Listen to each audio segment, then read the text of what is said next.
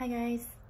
Okay, so I'm gonna share my prompt today, and my prompt is actually a quote uh, from Confucius.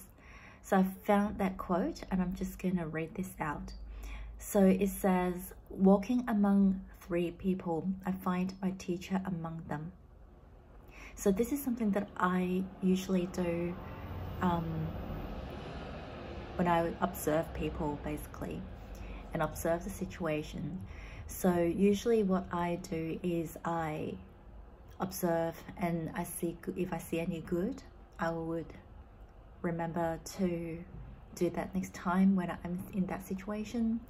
And if I see anything bad, I would also make a mental note for myself um, to make sure that I would never do that if I was in that situation.